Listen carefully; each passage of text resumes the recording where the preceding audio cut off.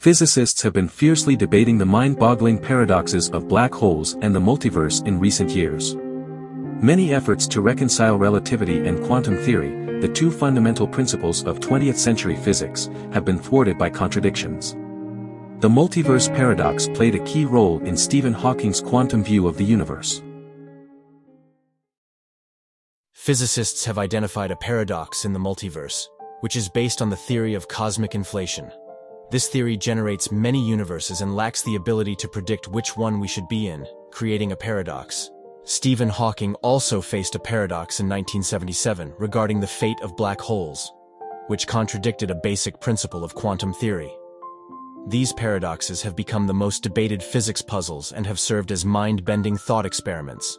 Stephen's final theory of the universe, which is thoroughly quantum, reimagines the relationship between the living world and the physical universe.